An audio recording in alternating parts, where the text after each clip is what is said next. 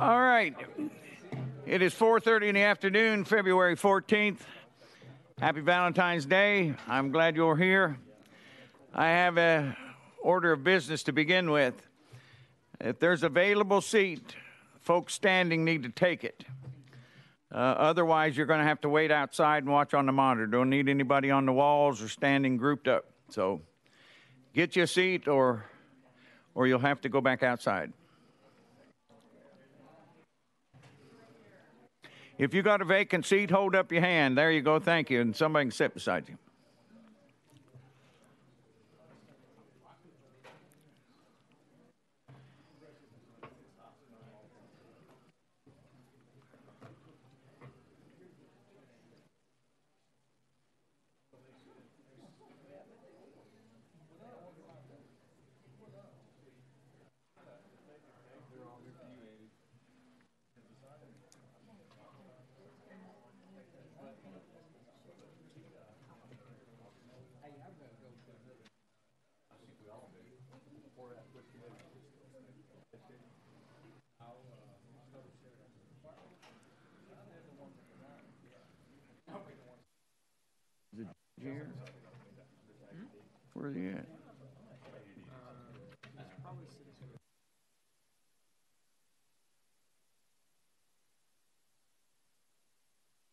forget to have.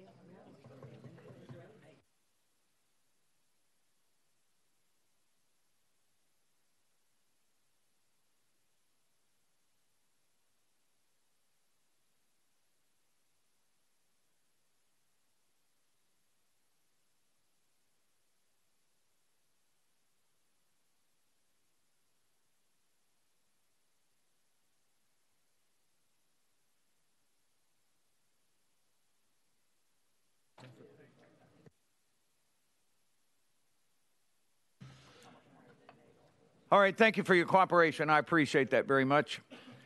Um, Madam Clerk, will you call the roll, please? Representatives Campbell, Carringer, Davis, Doggett, Farmer, Fritts, Glenn, Hardaway, Howell, Johnson, Lamberth, Moody, Russell, Sherrell, Towns, Vice Chairman Gillespie, Chairman Hulsey. Here. Mr. Chairman, you have a quorum. Thank you very much. Are there any personal orders from the committee? Seeing none, we'll move on. We've got a privilege today. Uh, the, the voters in the state of Tennessee back in 2014 added a constitutional amendment that all judiciary that are nominated will come before uh, the Senate and the House for uh, confirmation of their nomination. And today we have uh, such confirmation going on. Um, and we want to welcome the nominee from the governor's office. Uh, his name is Matthew Wilson, and uh, he is is here uh, with the the governor's chief counsel. And so, in a moment, we will go out of session, and they will come forward. And just to tell you how the process works, the chief counsel will make some remarks. She will introduce the nominee. And then at that point, uh, I'll open the floor for any questions that the committee will have of, of the nominee. And uh, at the end of that, we'll go back into session and then we will vote either to confirm this nomination or reject it. So that's how the process works. So we are now out of session. And so, uh, Counsel, would you uh, proceed? Thank you. And would you also make sure that you both uh, state your name and your position for the record? Good afternoon. My name is Erin Merrick, I'm Chief Counsel Governor Lee. I'd like to thank you, Mr. Chairman and Mr. Vice Chairman and members of the committee. I'm thrilled today to have the opportunity to introduce Governor Lee's nominee for the Tennessee Court of Criminal Appeals in the West, and that is Matt Wilson. Matt focuses his practice exclusively on criminal prosecution. Since 2011, he's been an assistant United States attorney. He started that role in a Republican led office in Arkansas and then moved to the Western District of Tennessee. He's currently the deputy branch chief of an 18 county area in West Tennessee.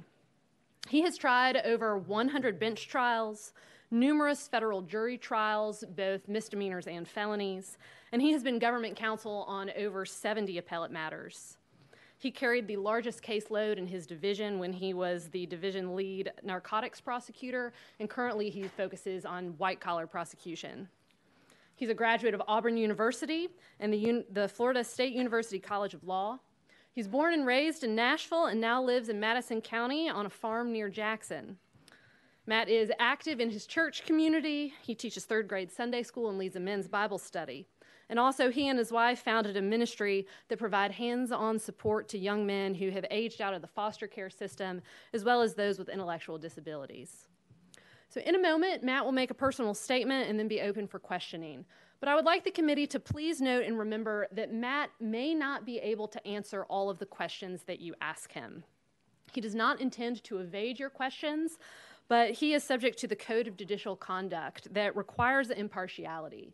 Therefore, answering certain questions now would require him to recuse himself from certain types of cases later. So, for example, he will be limited today in his ability to express personal viewpoints or to critique certain pieces of legislation or court decisions that could come before him on the Court of Criminal Appeals. I want you to know that Governor Lee trusts Matt, and Governor Lee looks forward to Matt being able to make those hard decisions when he is ultimately confirmed to the court. So, without further ado, the governor's nominee for the Court of Criminal Appeals, Matt Wilson. Thank you, Counselor.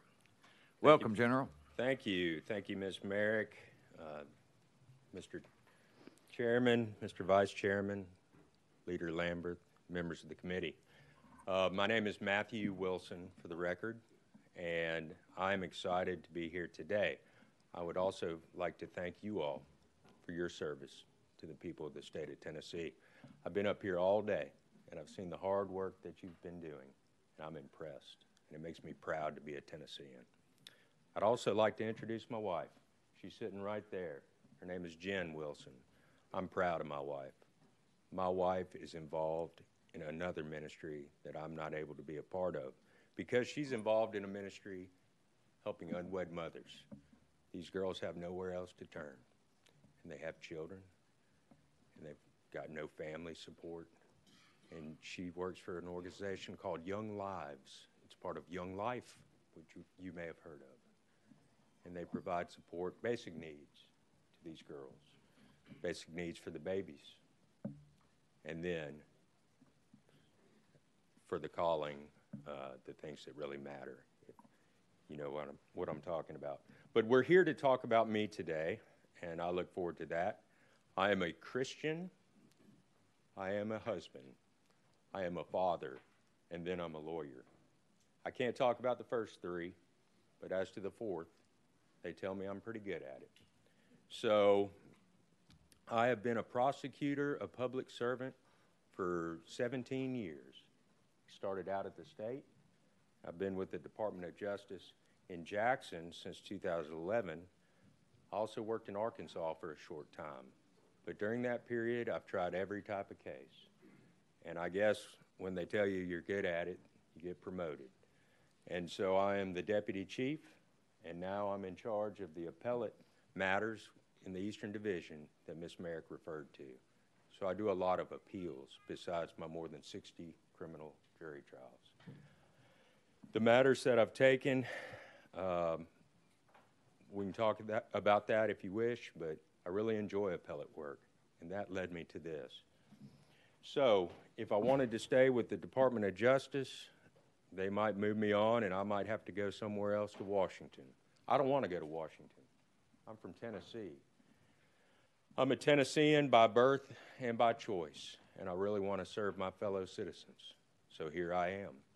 And I'm really excited about this opportunity for that service and humbly ask you to consider me for the Court of Criminal Appeals. Thank you, General. All right, uh, the floor is now open for questions from the, the committee. Chairman Farmer. Yeah, hey, and uh, Andrew Farmer here. Uh, I represent portions of Sevier and Jefferson counties. Uh, happy to have you here today. Thank you. As a fellow lawyer, I practice law as well. I do a lot of criminal defense work and, and done my fair share of civil civil work as well. Been in front of a jury, been in front of a judge a few times, but you've got me beat by several hundred, it sounds like. Um, could you could you just tell me just a little bit about what um, have you always have, have you always wanted to maybe be on the appellate bench? Kind of what what your ambitions there? Is this something just kind of you just kind of Sure. worked your way into, or tell me, tell me a little background there? Chairman Farmer, I thought I'd be a career prosecutor. Truly did.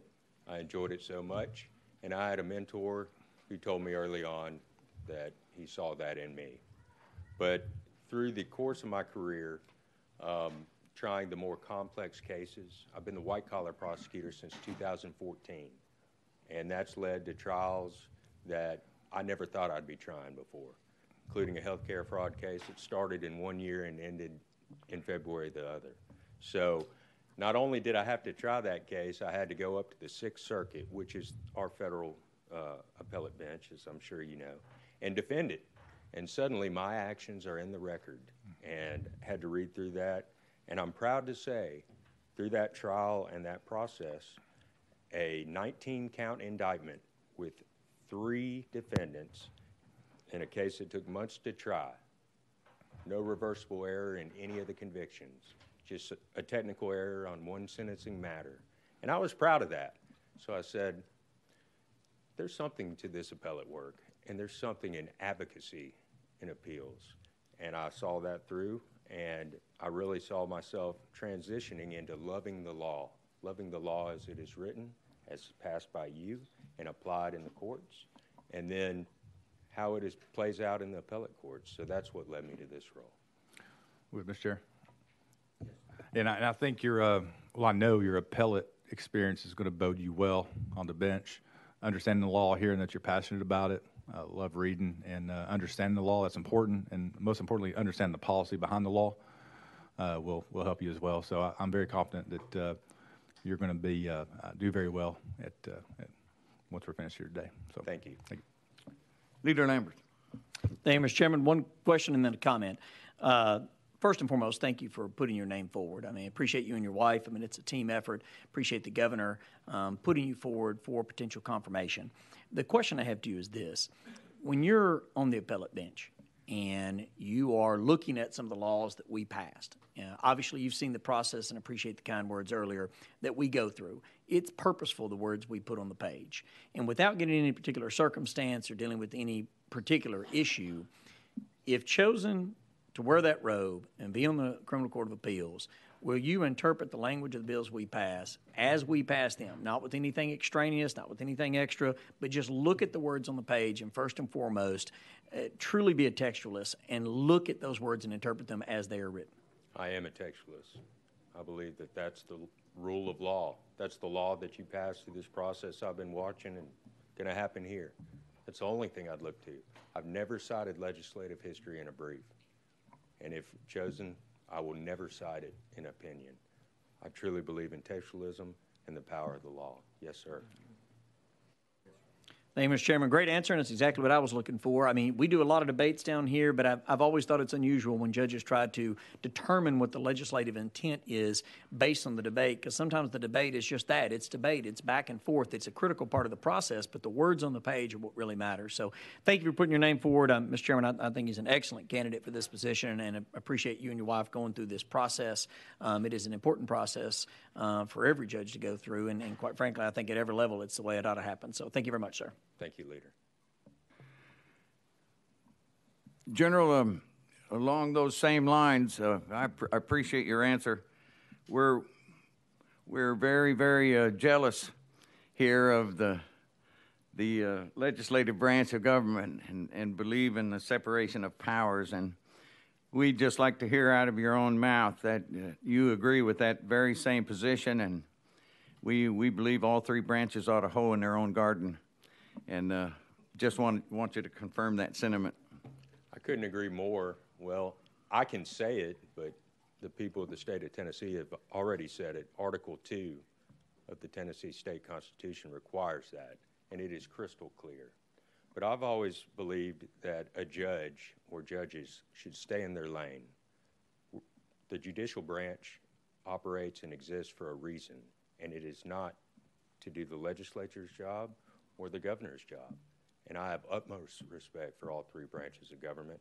And I also respect the work the governor does. So that's my answer, sir.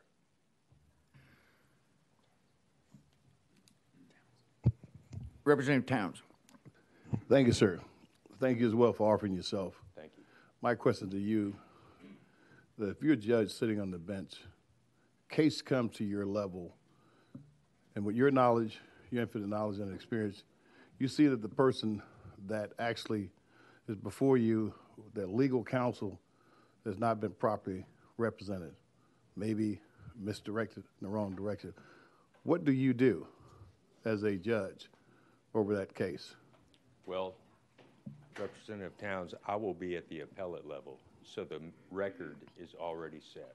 Okay. What, whatever is in the record. However, if that issue does exist, there's a procedure for that, ineffective assistance of counsel, that provides criminal defendants an additional avenue after the conclusion of their criminal case. And I know the courts are aware of that. I'm aware of that now in my current situation where I'm, I'm a prosecutor. And I have seen that, where that issue is litigated. I'm very familiar with that. So it's not up to the court to advocate for that, but the court can look to the record and find any issues such as that. And if something like that was there, uh, it would be legally dealt with. Yes, sir. So how does that person, the actually uh, defendant or however you term it, get the proper fair redress? Well, as I stated, there is a collateral proceeding that takes place after their, their appeals are exhausted in the criminal case. And it would start again at the trial court le- level. And in that process, trial court, uh, normally the judge who actually heard the criminal case, who saw the trial in action, who saw the actions of the attorney in your situation, would be best, uh, in the best place to address that because he or she- she saw it. And then I would review the record once the trial court had already made that determination. And if it's merited in, in your situation, the trial court has made that finding, I would review that decision too for any appellate legal error on appeal. Mr. Chairman, thank you. Yes, Chairman Doggett.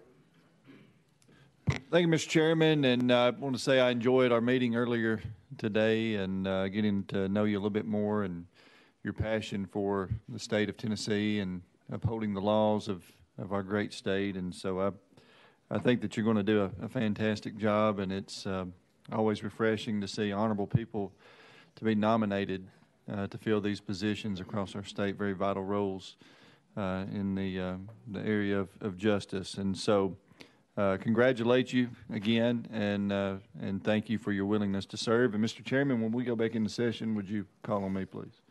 Thank you. Any other questions from the committee? Representative Hardaway. Thank you, Chairman. Good afternoon, sir. Good afternoon. Um, and thank you for being here. Uh, just a couple of questions for you. Yes, sir. As far as, and you had this uh, with the leader, the legislative intent. Uh, would you repeat the answer you gave to him again? Well, determining the legis- legislative intent, I believe, can be found from the words of the statute. So that is the text that is passed by the Assembly and by you. I think there's other ways that, without looking to the legislative history, that a court can determine legislative intent. Would you like me to give an example? Yes, sir. Okay. That is, we can look at past versions of the statute and how the statute was passed. We can look how the legislature classifies the different statutes. For example, uh, Title 39, Chapter 14 uh, versus Chapter 13. Burglary was actually moved from property crimes to a personal crime. I believe it was in July of last year. But basically, I believe that could signify that the legislature intended that the crime of burglary is a crime against a person. And I think it would be proper to look how the legislature classifies certain crimes. So that's, that would be my approach. Okay, and I can understand and appreciate uh, that approach, but we're far from perfect here, and uh, quite often, uh, the cases uh, before you and other uh, judges and justices, involves disputes about, that's brought about, rather, because the legislative intent and the interpretation of what we meant to, uh, to do uh, with the words on the paper, uh, sometimes uh, I, I, and I don't understand why it would be of any harm to go back and see how the debate uh, went, uh, what was said by the sponsor, how the uh, the committee uh, videos uh, were, what happened in the uh, the committee uh, work. So I, I don't know if I agree with you on uh, just eliminating that as a tool, perhaps not the tool, but as a tool to interpret uh, statute. Uh, but you seem pretty firm in where you are, and this is certainly not an attempt to change you at this point in time. Um, so if you want to respond to that, fine. If not, I'll get to my second uh, I do question. appreciate your opinion. Mine, mine is pretty much as you stated and as I stated to Leader Lamberth. Yes, sir. All right. Well, I plan to work on him too. Okay. Okay. But, and uh, help me, if you would, uh, are you familiar with restorative justice? And if so, uh, your definition and whether or not you see it playing a role in the way you would uh, sit on the bench? Okay. Um, As I stated earlier to Representative Towns, I would be dealing with a record that's already set. So that would be likely a trial court's uh, job to actually look at whether this individual qualifies for any restorative justice. I, I believe I understand what you're referring to. That is a rehabilitate, rehabilitative component in an individual's sentencing versus another structure that may be passed or considered by this body. But in my circumstance, my opinion really would not matter because I would only be dealing with the cold record. And that is the record that the trial court, who's in the best position under our system, to look at that individual face to face, hear from his family or her family, hear from circumstances in his or her youth, see if there is a need for rehabilitation, and do so in the framework of the statute that is passed by the legislature of the state of Tennessee. I would only be reviewing the record to see if there, was any legal error in that process. And my opinion really wouldn't be relevant in that situation because I understand that the legislature has a hard job. You all have to balance certain things. I know that the man who appointed me to this position for your consideration has his views. And I appreciate all the work that goes into it. But that wouldn't be my job to insert my own opinion in that. And I really can't be more helpful to you in your answer. Would you care to speak to that aspect that involves uh, reconciliation? I'm, I'm not sure I understand the use of the term reconciliation. Could, could you give me? Yeah, reconciliation with the community and with the victim. Okay. Well, again. Still working through the concept of restorative justice. I understand. I understand. Again, that would be for you all to create any sort of legislation that provides that opportunity. And whatever is passed here and on the House floor, the full committee floor and signed by the gov- governor, I will follow it, whatever is passed. But again, if such a law were passed, that would be a matter for the trial court to consider because they would actually see the victim, they would see the defendant, they would see the families of each, and be in the best position. I would just be reading about that person and seeing what happened in the proceeding below. And I wouldn't be in the best position to make such a decision. And I don't foresee, even if such legislation were passed, that I would be really the qualified person to make that determination. So I hope I attempted to answer your question. Well, I, I think you did. I disagree with uh, what your job would be in reviewing uh, the records, uh, but I understand what you said, and I, I appreciate your position. On the Arkansas work that you did, Yes, sir.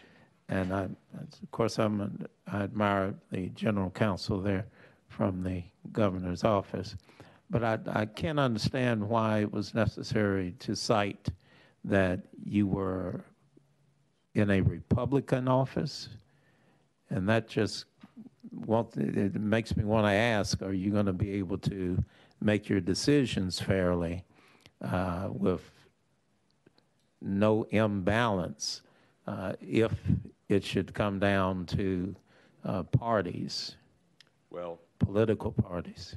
Representative Hardaway. Uh, The other part of that is, I came, when I was in Arkansas, I was hired by a Republican, but Mr. Edward Stanton brought me to West Tennessee, and he is not a Republican appointee. And I served under him, and I served under General Dunavant, and then I serve now under Kevin Ritz. And politics had nothing to do with my job, and I guarantee you I will be fair and impartial in, if selected and uh, confirmed for this position. Uh, I, it's never been a problem in the past, and I would not think politically, because that's not the job for the court. The court is to be a fair and balanced judge, be impartial to all involved, and respect the law. And that's what I can assure you I will do. All right, and uh, of course, Ed Stanton and uh, General Dunavant, I still call him General Dunavant. Uh, I'm familiar with both of them very well, and uh, I, I, I, I think if uh, they chose you, then, uh, and I can certainly appreciate their judgment. Um, but it was just odd to me uh, that it would be cited that you worked for a Republican office in Arkansas, but there was no designation that you worked for, uh, or what kind of office you worked for in Tennessee. And I don't want you to answer that and get yourself in any trouble. So. No, I understand. I think I, think it was referring to the process by which the Uni- United States Attorney is selected. It's a presidential appointment, and again, as in happening here today, the uh, Congress, it confirms the presidential appointment, and perhaps the reference was to that. All right, now thank you uh, for offering yourself, and essentially, uh, we know as public officials, uh, we offer our families and our lifestyles and our privacy uh, when we take these positions. So I admire what you uh, you decided to take on, and uh, thank your wife for letting you do it. Thank you. I owe her a lot, thank you, sir. All right, thank you, thank you, Mr. Chairman. Seeing no other questions, we're back in session. Uh, Chairman Doggett. Thank you, Mr. Chairman. I motion uh, recommendation for confirmation. There's a motion and a second for confirmation for Assistant U.S. Attorney Matthew Milson, uh, Wilson. Uh, members, you heard the motion. It was properly seconded. Any discussion? Seeing none, we're ready to vote. All those in favor of recommending the confirmation of Assistant U.S. Attorney Matthew Wilson for the Court of Criminal Appeals Western Section, please signify by saying aye. Aye. All opposed, no. The ayes have it. Congratulations, General, and thank you, Counselor, and you folks are dismissed. Thank you. We're going to take things out of order um, on the calendar. We're going to item number 10 to start off with.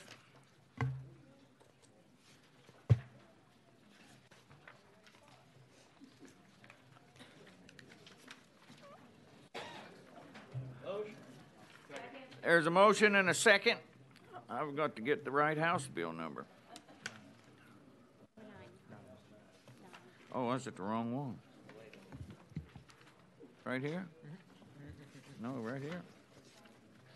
Okay, thank you.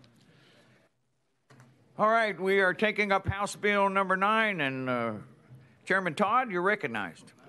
Thank you, Mr. Chairman.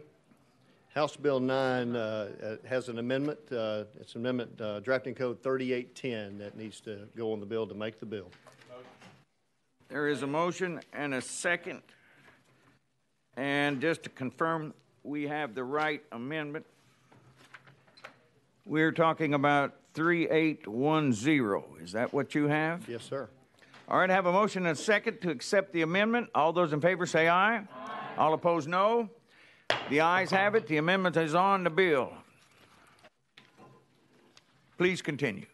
Thank you, Mr. Chairman. As amended, House Bill 9 clears up confusion in the law and clarifies that adult-oriented performances may only be held in age-restricted venues and may never be held on publicly owned property.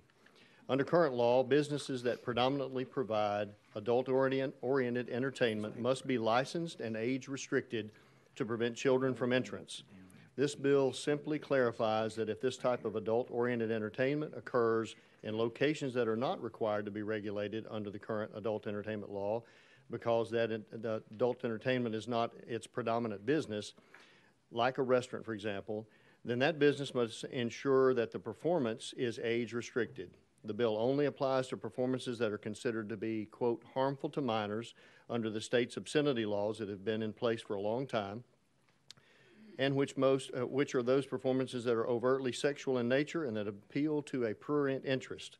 This is a well understood term in Tennessee obscenity case law surrounding what it means to appeal to a prurient interest. This is common sense. It's a child safety bill, and I would appreciate the committee's support. In the amendment that you have before you, the, the few changes that were made, some really uh, clarification uh, items. The first, uh, there was an omission of the word topless, or the words topless dancers that was uh, traditionally in code. And so we got that corrected. And then um, in section 1B, uh, the first part of that sentence has been altered to add some clarification. And it says a performance of actual or simulated speci- specified sexual activities, including removal of articles of clothing or appearing unclothed. That has been added to that. And then the other item is in section 2C1, we changed the word where it is an offense for a person to engage, it is now to perform. So it's much more clear, and we don't capture anything that we don't intend to there. So with that, I'll be glad to take any questions. Okay, thank you, Chairman. We've got some folks to testify both for and against this bill. And so I'm going to ask first, uh, we have down Dayron Johnson, Lynn Purvis, and Abby Rubenfield. If you will come forward, please, and make sure your microphone is on, and then state your name for the record. And then following that testimony, we will have Chris Barrett, Landon Starbuck, and Adam Dooley. And you each have three minutes. And at the end of both of these, both opposing and, and for, then we'll open up the, the floor to the committee to, to see if there are any questions for any of you six folks. Okay, first is Daron Johnson, Lynn Purvis, and Abby Rubenfield. That's who I have.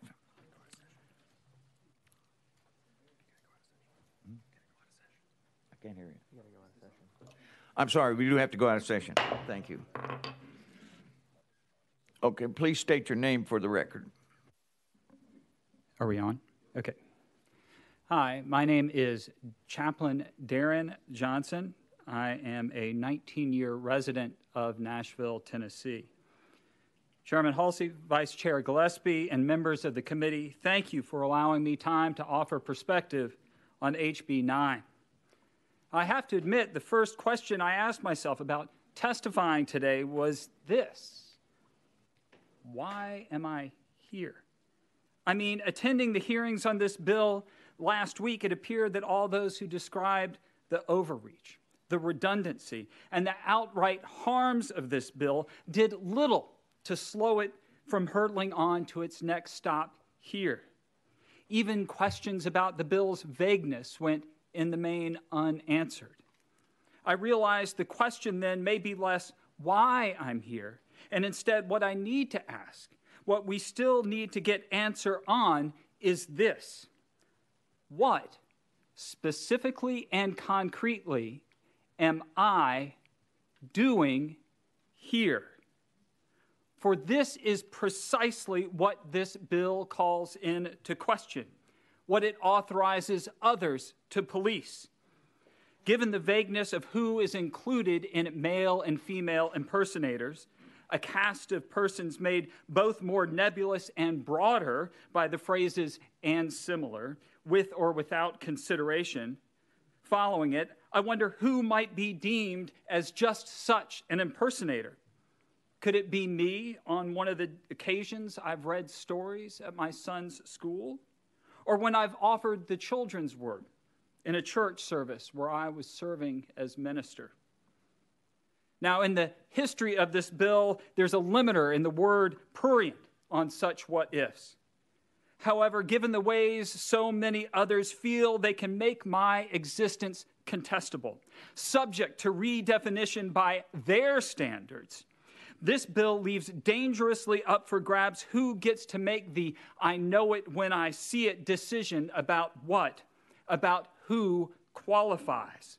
And not just in the courts, but in the moment, in the event, when someone sees me or someone else from my community and emboldened by legislation like this decides there's something patently offensive about my presence. And while I understand the task here today is to consider this bill on its own particulars, it is irresponsible to gauge its impact in a vacuum. It follows years of this assembly passing measures that have restricted where and how I play sports, or receive care from my doctor, or even just to go to the bathroom. It seeks this term to ban care for my, our community's children, and to demonize their parents. It seeks yet again to allow teachers to do anything but say their students' chosen names. And this assembly, in this term, seeks to strip my identity from the entire Tennessee Code and then, as here, to further call into question and police it. I say enough. HB 9 is an unnecessary, harmful bill on its own, and even worse when seen for what it is just one more grim discriminatory puzzle that some have been working on for years. I urge you to vote no on this bill. Thank you.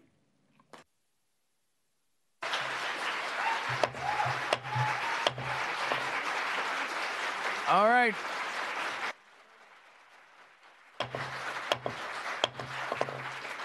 You're, you're going to have to save that to the end. All right? Can't, you can't do that. We gotta, we have to maintain decor. All right.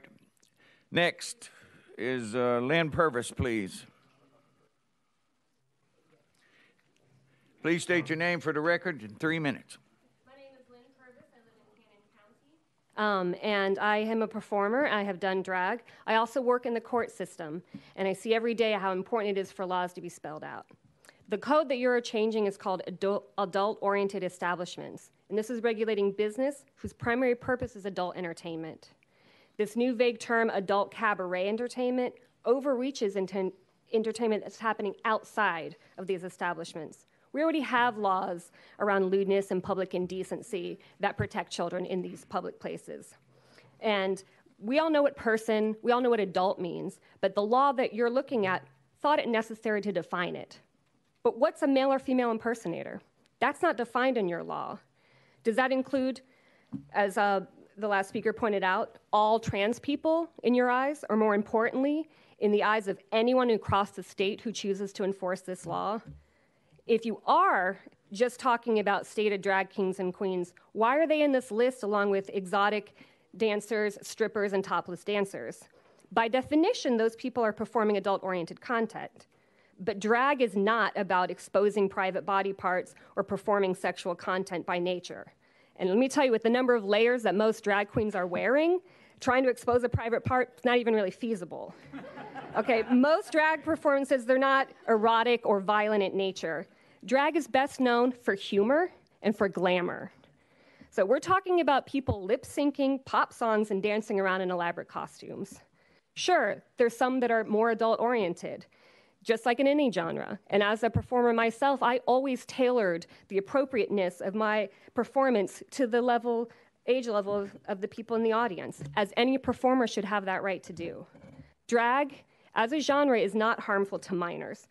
Seeing a drag queen doesn't make a kid gay or trans, but it can help queer kids who are suffering so that there's hope of being able to one day freely express themselves. Google the phrase drag saved my life, and you can read account after account of people who are alive today because they saw drag shows as a young person. Drag is a cultural expression full of political and artistic values for people of all ages and we have the constitutional right to do that in public. This bill is giving the power to openly biased anti gay and anti trans people to criminalize queer cultural expression. Please relent on this attack, legislative attack on the queer community. We are going to continue to express ourselves in love and in joy, and love will prevail. Strike the terms male or female impersonator or vote down this bill entirely. Happy Valentine's Day. Please. All right, Abby Rubenfield, please state your name and you have three minutes. Thank you. It's Abby Rubenfeld. No I. Um, you look just like your picture on Twitter. um, uh, my name is Abby Rubenfeld. I've proudly been a Tennessee attorney for almost 44 years now. I'm honored to be speaking today on behalf of the amazing Tennessee Pride Chamber of Commerce, which this is a quote advances common business interests, economic growth, and equality in the workplace and society for its LGBTQ plus members, businesses, and allies by providing educational, networking, and community building opportunities. One of our interests in opposing this bill is that legislation like this is bad for business. It makes our state look silly, backward, unwelcoming, and not a place to relocate a business. We do not need this. HB 009 seeks to amend an existing law that already regulates adult oriented performances. There are already statewide mechanisms in place to regulate drag shows or any other shows that are improper or obscene. This proposal is simply unnecessary, unclear, and unconstitutional. And if passed, it will cost the state a lot of money after it's successfully challenged in court. I speak from experience. The state paid me and my legal team in the marriage challenge, Tanco v. Haslam, close to $2 million. And you will be paying that and more again if this law passes. Before saying more about why this bill is unnecessary, unclear, and unconstitutional, let me put it in context. There's no doubt that Tennessee needs to do a bunch to help children and families in our state. We have lots of problems crying out for relief. But this proposed law is a quote solution looking for a problem. Harm from drag shows is not an issue in the state. I'm not aware of a single report from anywhere in our great state where a child of any age was, quote, harmed by being taken to a drag show by their parents or simply walking by one and seeing one at a pride event. There are simply no reports of damaged children from these events. But we do have lots of problems that y'all could focus on and try to fix. Here are some examples. Tennessee has the highest rank in the country for foster care instability. We've had that since 2016. We rank 49 in premature births. We rank 42nd in infant mortality. We rank 38th in child poverty. We rank 36 for overall child rearing. We rank 33rd in the economic well being of children. We rank 31st in pre K to 12th grade education. I could go on, but you get the point. Drag shows are not the issue on which this legislature needs to focus or spend your limited resources if you want to protect children in our community. But there are lots of issues on which you could focus and you could help children. So, first, this law is completely unnecessary. We have a statute, as this, the prior speaker said, that regulates uh, adult businesses, adult entertainment. We also criminalize indecent exposure and public indecency, such that drag shows or any other performances that are obscene or cross a line into sexually inappropriate are going to be stopped. And also, who does this cover? Does it cover what kind of entertainers? What are go-go dancers? I did a drag show for my 30th, excuse me, my 60th birthday to raise to raise money. I wish um, actually for the Marriage Equality Challenge. I wore a wig and a sexy dress and fishnet, fishnet stockings, would I be arrested today if I did that under this law? What about performers at TPAC who do Shakespeare plays and that call for cross dressing? Are they going to be arrested? Did you say I'm done? I just want, well, then I just want to say it's unconstitutional. This law is clearly vague.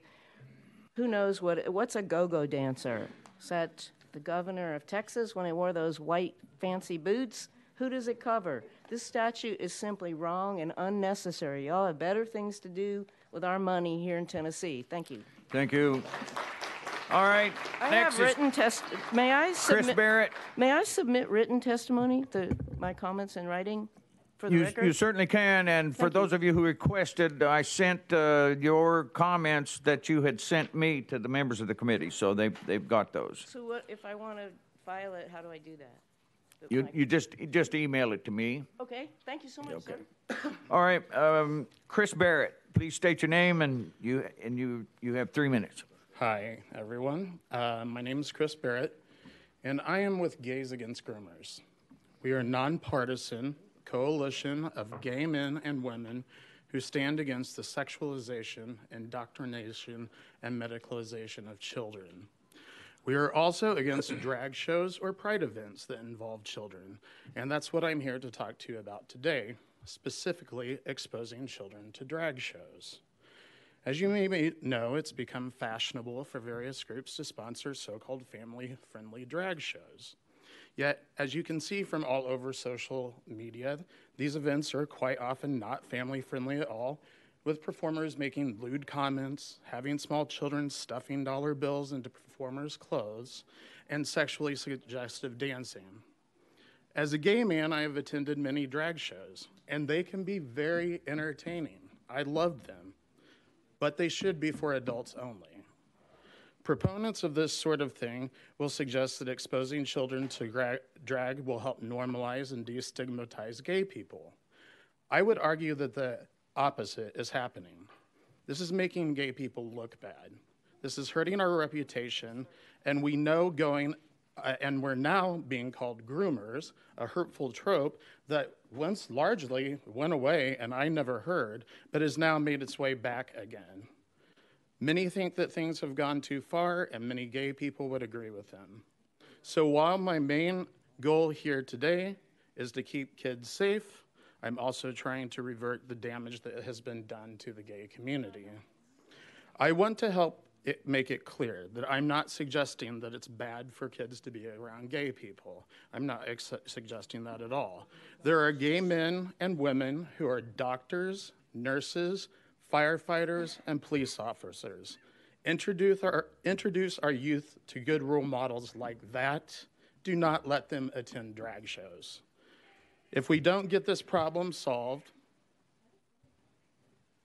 if we don't get this problem solved, children will continue to be exposed to overtly sexual performances. We wouldn't allow children into a strip club, and this is no different. And the damage to the public reputation of the gay community will continue, not to mention the damage done to impressionable young minds. I'm the uncle of several nieces and nephews. I want them to be protected. I want them to grow up and have a normal childhood.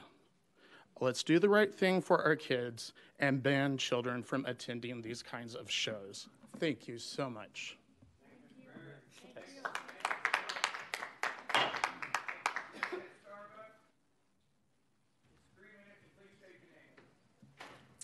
Thank you to the committee. I'm Landon Starbuck. I'm here today as an advocate for children harmed by child sexualization and exploitation. I'm a mother of three and the founder of Freedom Forever, which combats all forms of child exploitation. There's pandemic of a child sexual abuse in America, where the demand to sexually abuse and exploit children has never been greater. One- I'm here one mo- today to one moment, educate on Excuse me, one one moment, please, Leader Lamberth. Mr. Chairman, point of order, and, and this is for everybody. Mr. Chairman, the Sergeant Arms and the troopers have the authority to be able to remove anybody from this committee that is not able to act like an adult and give respect to every speaker that is here. This young lady is in the middle of speaking. She didn't speak. She didn't speak when anybody else spoke. And Mr. Chairman, in a few moments, if folks continue down the road that they're headed by interrupting this young lady, I am going to ask that you clear the room. not just those that are acting out, and we have every authority to do so. We want to hear from everybody here. We want to hear from every single speaker. But, Mr. Chairman, it is important in any debate down here that we give folks the respect that they deserve. I am merely asking that everybody do that in this room. Everybody surely can do that. That's all I'm asking. Thank you, Mr. Chairman. Thank you, Leader. Let's continue. Tolerant people don't tolerate religious big- bigotry. There's a pandemic of child sexual abuse in America where the demand to sexually abuse and exploit children has never been greater. I'm here today to educate on how early sexualization and exposure to explicit adult content via adult entertainment harms children. It grooms them into accepting adult behavior as normal, healthy, and even celebrated while it encourages them to simulate and participate in high risk sexual behaviors. When a child is sexualized, they don't just lose their innocence in childhood, but the sexual desensitization they experience renders them more vulnerable to sexual predation as they're groomed into accepting being sexualized. Allowing and normalizing the sexualization of children empowers child predators and increases the demand to exploit and sexually abuse children. Child sex trafficking survivor leader Dr. Jenny Sue Jessen shared the following statement I learned from the ages of 4 to 17 that those who expose children to sexually explicit materials do so with a very clear purpose in mind. Through sexually explicit images and behavior, I was forced to see or watch sexual contact was normalized. The sexual acts expected of me were taught, and shame based secrets were created that distanced me from those who might have protected me. The graphic images seared into my brain then became my reality when the perpetrators acted on what they had just shown me. My story is not unique. Dr. Jessen Jessen's lifelong experience and expertise on preventing sexual abuse is counsel we should heed. This past year, I've been exposing this new toxic trend of exposing children to adult sexually charged entertainment. Many child protection advocates have discovered a pattern with these events popping up all over the state and the country. The pervasive themes we've documented included subjecting children to grown adults, stripping clothing, rubbing their genitalia, simulating sex positions, spreading their legs in front of children, making sexually charged comments about their genitalia, grinding, gyrating, spanking, and exposing their undergarments, knowing children are present. These things have occurred while being called family friendly. I don't need a PhD to tell us that children mimic the behaviors that they're exposed to. Any parent can testify to that. So when children are legally permitted to sit and watch an adult strip off pieces of clothing and simulate sexual behaviors as an audience thunderously claps and rewards the performer with a monetary gift of dollar bills, what does that child learn? They learn that sexuality is a vehicle for attention, affirmation, and money. You can get paid for taking off your clothes and sexualizing yourself. People will love you for sexualizing yourself to please them. It's no wonder we have skyrocketing mental health crisis amongst our confused and vulnerable youth with more sexual exploitation crimes reported than ever before. The harm on children is calculable, not subjective. It's either right or wrong morally, and it's either tolerated or not tolerated by the law. It doesn't matter who the adult is, what group they belong to, what they identify as, what their intentions are, or what's in between their legs. It matters that they're adults subjecting children to adult sexual behaviors and content. The most dangerous thing we could do is remove the boundaries that are necessary to protect children. Children deserve childhoods free from sexualization and exploitation by adults. In close, closing, I want to thank Senator Jack Johnson, Representative Chris Todd, for doing your duty by introducing this critical legislation to protect the children of Tennessee. That was right on time. All right. Adam Dooley.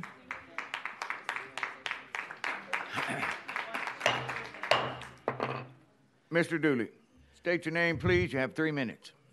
My name is Adam Dooley, and I pastor in West Tennessee. And I want to, first of all, thank you for uh, hearing my perspective today.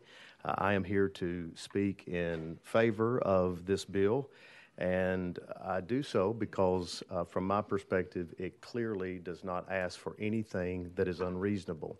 I know that uh, many have made this bill uh, about putting a target on the LGBTQ community. Uh, I want to state that uh, that's not why I'm here today, and that is not why this bill is important. It's ironic to me that the bill singles out a number of various kinds of performance, none of which are represented here today outside of the LGBTQ community. Uh, this is a bill that is about common sense. What we are saying is that children should not be sexually exploited. And the debate comes down to one central issue Is drag performance inherently sexual? And frankly, those who maintain that it is not are intellectually dishonest. This is a, this is a common sense bill. And all you have to do to recognize that is just change the characters that we're talking about. If we were here today talking about women who were half dressed, uh, wearing lingerie, performing uh, in public by dancing provocatively, telling hypersexualized jokes and singing hypersexualized lyrics, while taking tips from children, all of us would be outraged by that, and rightfully so.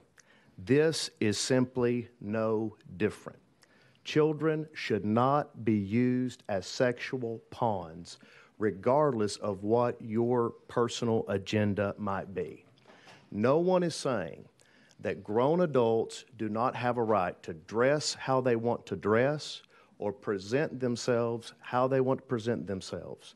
No one is saying that adults cannot attend entertainment that they choose for themselves. We are simply saying this type of entertainment is no place for children to be present. It is simply common sense. And I have been frequently asked and grown weary with the question well, if you don't like it, then you don't have to go. And that's like saying to a person, if you don't like pollution, then you don't have to breathe the air. If you don't like crime in the streets, then you should just stay inside. I am a taxpayer in Tennessee, along with many others who share my point of view. And we have just as much right to speak into what happens on our streets and in public spaces as anyone else does. And so you might say, well, what does that do to the rights of our LGBTQ friends? What about their right to perform drag? What about their rights to see drag shows? They have every right to do that, but they do not have a right to insist that children be present. And frankly, I question whether there's some sinister motive that would drive the demand for children to be present. Thank you for listening. All right, thank you. Now, committee, uh, we will. Uh, I don't know if it'd be better to get all six of you that testified up here or somewhere where, where the committee can ask you questions, but um, we'll do this all at one time or one at a time if you, if you remember the names. So, are there questions from committee members? Yes, Representative Johnson. Thank you, Mr. Chairman. Yeah, I had a question for uh, Ms. Rubenfeld. So my understanding is that this is already illegal. So it doesn't matter what you are wearing. If um, you are doing something that is obscene, it is illegal. That is correct. There's no need for this law. This law is simply to target the gay community, to target drag, and to send a message to silence people. There's no reason for it. If somebody's engaging in inappropriate behavior on a stage, whether it's at a park or at a business, it's illegal. It can be stopped already. And let me say that I thought that this legislature believed in parents' rights to take care of their kids. If I want to take my children to a drag show, that should be up to me, not to you all sitting here. Thank you. That I, I wanted to be make sure that I was accurate because it is completely my understanding with all that I've talked to that this is already illegal and that adding female impersonators or male impersonators is not going to change anything. This cannot happen in these places already by the law that we have. And so I guess my concern is a, a lot of my colleagues and a lot of folks in this audience I don't know understand that you can be a female and dress or perform as a female. So you're not a female impersonator. So does that mean that you don't qualify in this law, that you're outside of it and you can do what you like? I mean, there are questions here that are all over the place that aren't answered, but but what is very clear, we have a statute, we have a law that says if you behave in this way, you will be arrested regardless of how you dress, and that should be enough. All right, any other questions from the committee? To any of the folks who, who are witness? Um, Hardaway. I'm sorry. Yes, Representative Hardaway. Thank you, Chairman. And my question would be to Attorney Rubenfeld without the I. First, thank you for being here. Um, help me understand what the difference is with this bill as amended and current law. Um, well, current law already prohibits obscene or uh, obscene behavior or public obscenity. So if the behavior that y'all seem to be concerned about, if somebody in a drag show or any other kind of show um, shows body parts that are not supposed to be shown under the law or acts in an inappropriate sexual way, that's already illegal under Tennessee law, and the person can be arrested. This, what this does or doesn't do, I mean, this tries to extend the law, tries to add people when they don't need that. I mean, why do we need to put in female or male impersonators? What's what's the difference? As Representative Johnson said, bad behavior is already prohibited in this state. And do we really want to start saying like on public property that you can't have a pride event? What about people carrying AR-15s, uh, protesting? Like that's allowed on public property, but a drag show that's nonviolent, non-offensive, that can't be there. I mean, that's just that just doesn't seem like what the state is supposed to be spending its time doing. We have ways to protect our children. We have ways to protect our populace. We already have laws. Y'all can move on to something more important. And one other question on prurient uh. My definition is I don't know it how to define it, but I know it when I see it. Is Well, that Yes, sir, I agree with that, and I ran out of time. The chairman told me that's why I wanted to turn in my testimony because I pointed that out also. Like, I don't know what that word means. I disagree that the law is clear about that. That means that whoever is the decider, the judge, the arbiter of the situation gets to put their values on there. The what's prurient. That, I mean, that's that's our Constitution allows people to be free from being uh, charged with criminal behavior when they don't know that what they did was going to be determined to be criminal. And when you use words like prurient that people, different people interpret different ways, people don't know what behavior they can engage in, um, what's allowed and what's not allowed, and what they'll be arrested for. And it sets up people um, for uh, political. Um, attacks for people being arrested simply for political views or just into certain people and not others. And, and we don't want that. We want the law to be fair and equal to everyone. Um, and this law is not. It's, it's unnecessary and it's too vague to be understood, which makes it unconstitutional, which means the state will have to pay a lot of money to attorneys to defend it. Thank you, ma'am. Yes, sir. Thank you, Chairman. Leader Lamberth. Thank you, Mr. Chairman. I'll, I'll try to be brief. If you don't mind, please. I had a couple of questions. Yes, please. so popular with this legislature. That's great. Just one quick question. I mean, you said you're an attorney, correct? yes, sir. Do you want to see my bar card? No, it's not necessary. I, but I, I found it interesting. You said you don't know the definition of prurient. So, are you familiar with the Miller test? I'm sorry. Are you familiar? Are you familiar with the Miller test? No, I don't do that kind of criminal law. But if it's a test where a judge gets to interpret certain words, then it's ba- it's not necessarily clear to people. Do you want to read the test? Well, I'm kind of curious why you're not familiar with the actual U.S. Supreme Court decision that deals with the three prong test of determining what is obscene. How about Roth v. United States? Familiar with that one? I didn't know that you wanted um, a legal brief. I'd be happy to give you one about this statute, It- sir. It's some of the most basic legal principles on the planet when if dealing with that kind of law. I don't represent people charged with those things. Let me try this one. Where'd you go to law school? Um, I'm sorry. Where did you attend law school? I went to law school at Boston University. I graduated in 1979, perhaps before you were born. I'm not real sure why a basic question on on the type of thing when you're standing here is a I'm assuming what you're trying to portray yourself as as a legal expert. I'm trying to get into some relatively basic aspects of this, and you've chosen to be insulting. So at this juncture, I I'm, find you to be insulting to me. I, I wasn't trying to be. I was literally. You are. Okay, so that tells me everything about your testimony, and it will literally be discarded. Thank you.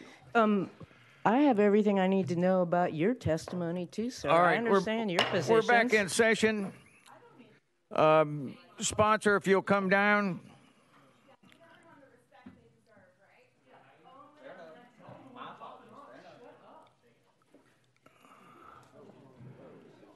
All right.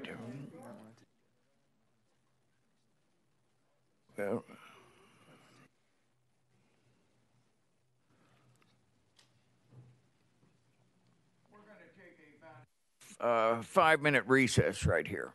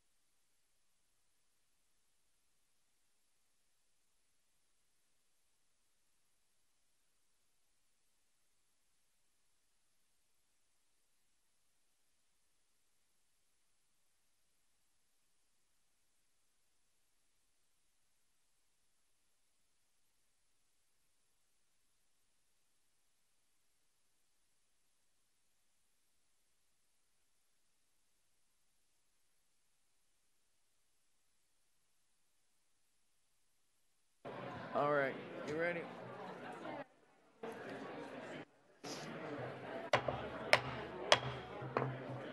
All right, we're back in session, and uh, I'll tell you what I want. I want to go back out of session. I want legal to explain a, a couple of things about what this amendment actually does and what it does not do.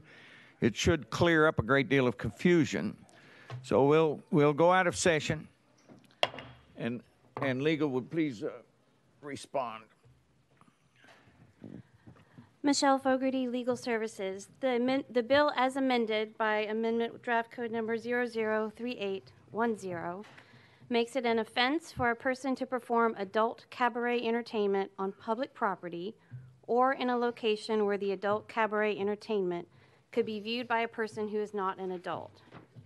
Adult cabaret entertainment is defined as an adult oriented performance that is one, harmful to minors, as that term is defined in 3917 901, and two, that features topless dancers, go go dancers, exotic dancers, strippers, male or female impersonators, or similar entertainers, and three, includes a single performance or a multiple performance by an entertainer. Within that definition, there are two other relevant definitions.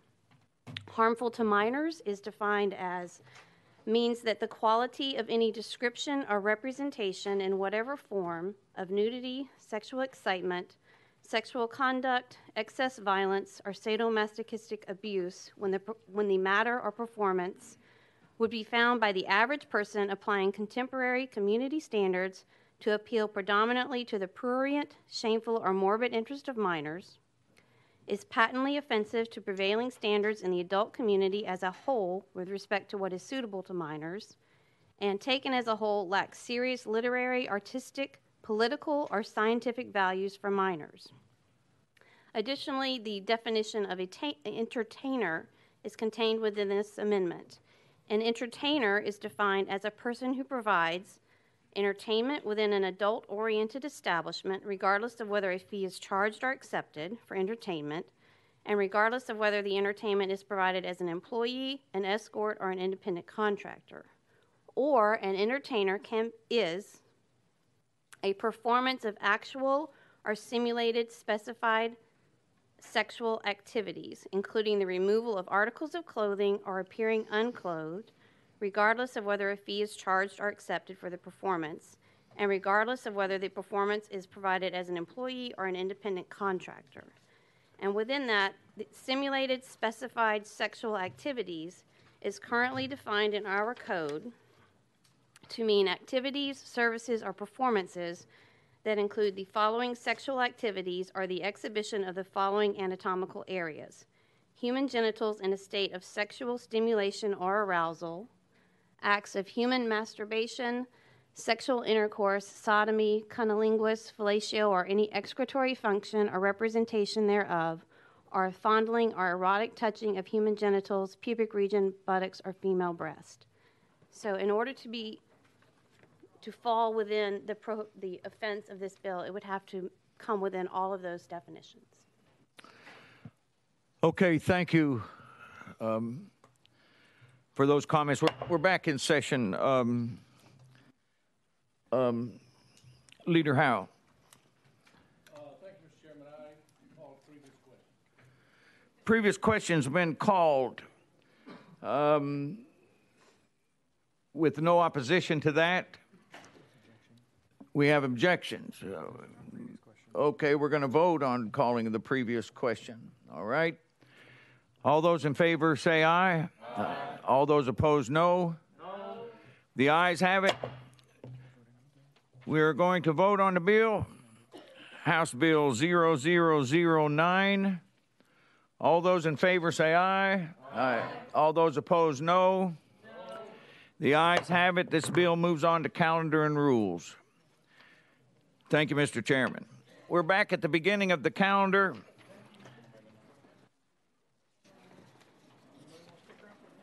Which is House Bill 128 by Chairman Garrett.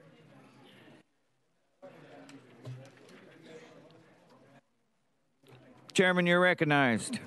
Thank you, Mr. Chairman. I'm so sad the group doesn't want to hear a bill from the comptroller's office, but hopefully this will be quick.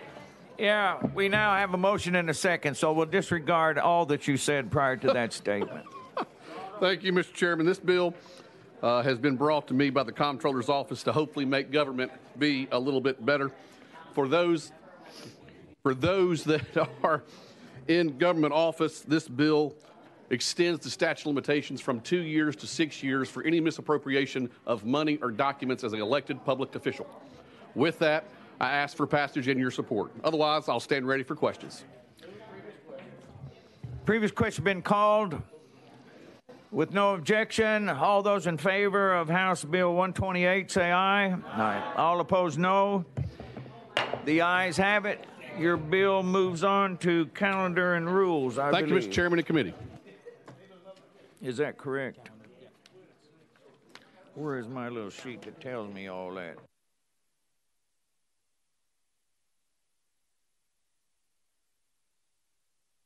Okay, all right. All right, next is House Bill 548 by Representative Harris.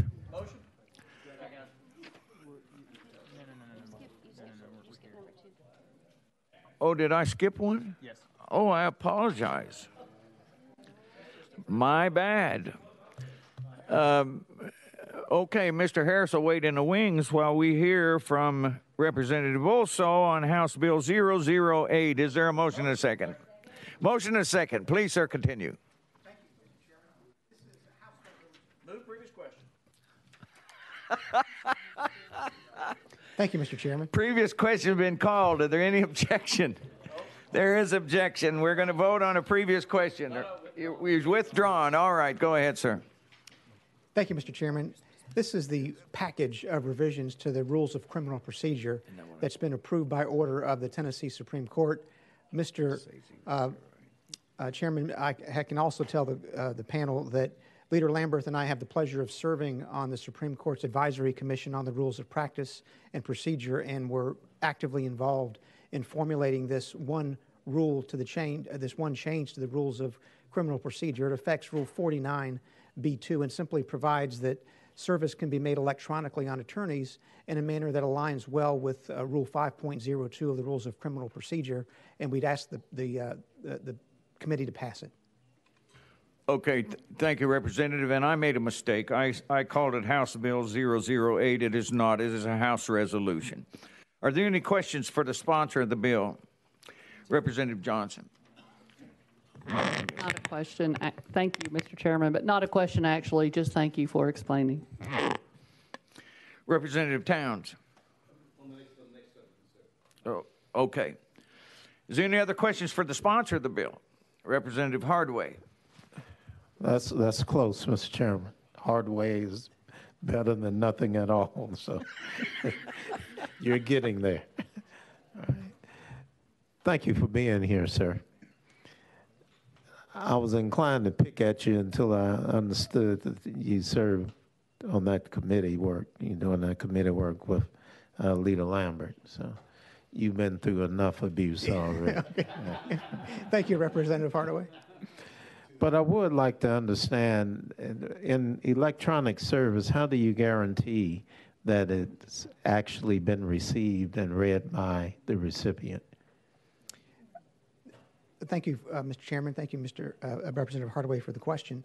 Uh, the, the manner in which you uh, ensure that it's been received is that, in addition to actually emailing electronically a document that's being served in either a criminal or a civil case, the sender also has to send a fax a copy of the of the filing to the recipient, who is able, if it did not receive the electronic copy, to object to the fact that the fax was not received either. So there is a, if you might call it a belts and suspenders approach. First, you have the email that's sent that in the subject line has to reflect the fact that it's a manner of service under Rule 49 of the Rules of Criminal Procedure.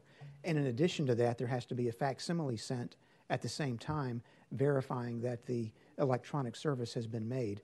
If the recipient who receives the fax did not receive the electronic service, then he has the ability to object to that. Okay, thank you. That was well stated in layman's terms. Thank you, Mr. Chairman. All right. If there's no objection, we're ready to vote on HR 008. All those in favor say aye. Aye. All opposed, no. The ayes have it. Your resolution moves on uh, to calendar and rules. Thank you, Mr. Chairman. Thank you. Next is House Bill 548 by Representative Harris. Yes, Representative Towns. Mr. Chairman, in order to try to facilitate the movement of this committee, I'm on the bill. It's, it's his bill, and I, I don't mind taking it if, if uh, we, we don't think it's going to be, you know, killed. If it's going to be killed, I'm going to let him have it killed, okay, you know? Oh, we, we, we won't kill it. Let's roll it. Okay, well, it's a simple little bill, you know. Okay. Uh, Do I hear a motion to roll for two weeks? Oh, no, not two. So moved. Okay, all those in favor say aye. Aye. All opposed, no. All right. House Bill 548 rolls for two weeks. Next is House Bill 413 by Leader Lamberth. You're recognized. You have a motion and a second. Then, Mr. Chairman, this just allows for probation officers. Uh, we currently allow for those with college degrees and that have military service to become probation officers. This allows for law enforcement officers as well. Okay. All right, that's an explanation of the bill. Any question for the sponsor? Seeing none, we're ready to vote on House Bill 413. All those in favor, please say aye. Aye. All opposed, no. The ayes have it. That bill moves on to calendar and rules. Thank you, Mr. Chairman. Next is House Bill 450, also by Leader Landry. You're, you're repri- recognized. You have a motion and a second. Thank you, Mr. Chairman, members of the committee. Uh, came to our attention in early January, the, uh, some issues had come up and the TBI had interpreted their stat, the statute to mean that a person cannot get a diversion certificate um, sent to them, even though they pay for it, they fill out the application for it and everything else. It can't go to the defendant or defendant's counsel. It would have to go to the judge or the DA. That's caused a lot of just havoc amongst this system. If somebody goes online, they fill it out, and they pay the $100 for the certificate, they should get that certificate or their attorney. Um, so that's all this does. It just adds in um, that, you know, it's both the requesting judge, district attorney, general, defendant, or defendant's counsel. All right, you've heard the explanation. Any question for the sponsor? Seeing none, we're ready to vote on House Bill 450. All those in favor say aye. Aye. All opposed, no. The ayes have it. It passes on to calendar and rules. Next is House Bill 385, also by Leader Leader Lamberth. Is there a motion and a second? You have a motion and a second. Mr. Chairman, I believe in, in order to improve this bill that you, sir, had an amendment on it. I, I think it's a really good amendment. I like it a lot, but it's not, it's not mine. It isn't.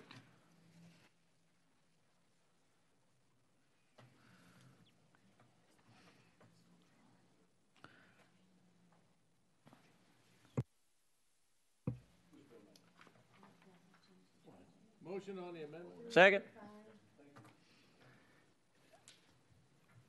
I'm glad for that motion and that second for this amendment.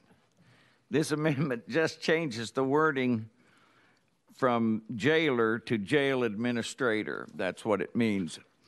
So, uh, is there a motion? You had a motion and a second on the amendment. All those in favor say aye. Aye. All opposed, no. The amendment is now on the bill.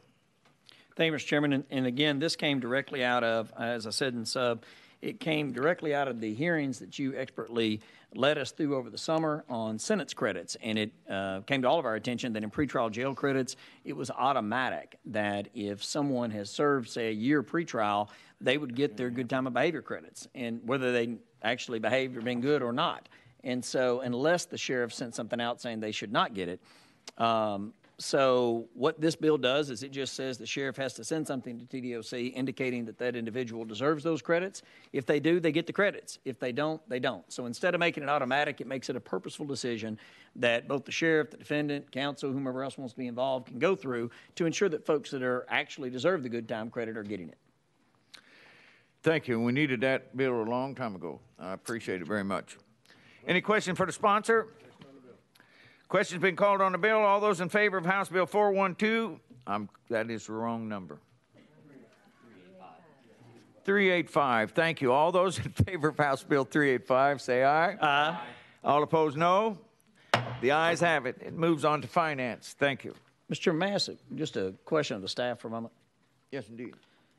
So is it, uh, Mr. Chairman, is it the, the policy then that if it is other fiscal impact, it has to go to finance? The answer is correct. All righty. Thank you, Mr. Chairman. Okay, House Bill 412 is rolled for one week. Oh, two weeks? I'm sorry, it's rolled for two weeks.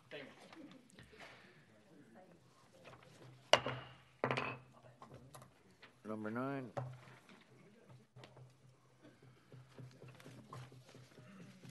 Well, you do your work when you work with me, don't you? Sure do. We're now on item number eight on the calendar. It's House Bill 701 by Chairman Doggett. You have a motion and a second. Chairman Doggett, recognized.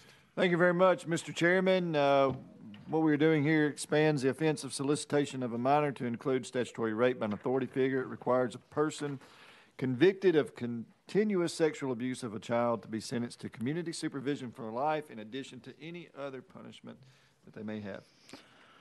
Okay, you've heard the explanation of the bill. Are there any questions by the committee? Yes, Representative Hardaway.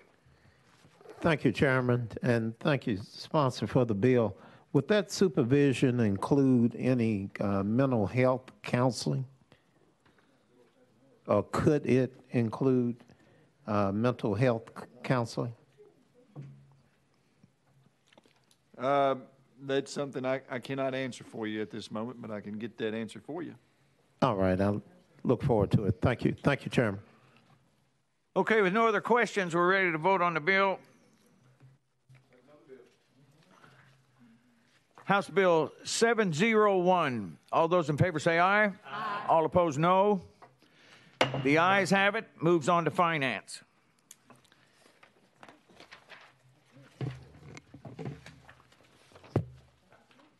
We're now on item nine on the calendar. It's House zero, uh, House Bill 0705 uh, by Chairman Doggett. Chairman Doggett to recognize.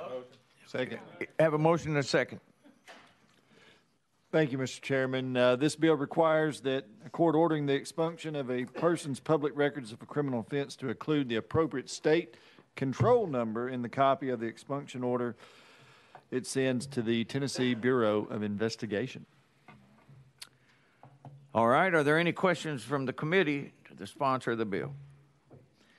Seeing none, we are ready. I'm sorry? Representative Towns, you recognized. I just didn't understand. You say the state, from their state, that information, da, da, da, da, da, da, right? Yes, sir, go ahead. Yes, sir. When someone is, uh, when a charge is brought against someone, they have a state control number that is given to them. We're making sure that this, now that expunction order has that, that number will follow them uh, throughout the process. So that means if it comes from another state, not Tennessee only, just Tennessee. Just Tennessee, Got yes, it. sir. Got it. Thank you. All right, we are ready to vote on the final bill on this calendar. And by the way, you have done a fine job, committee, and I am, I am extremely grateful for your patience. All right. We're going to vote on House Bill 705. All those in favor say aye. All opposed, no. The ayes have it. The bill moves to calendar and rules. Do I hear a motion to adjourn? Yeah, we all motion. We are adjourned.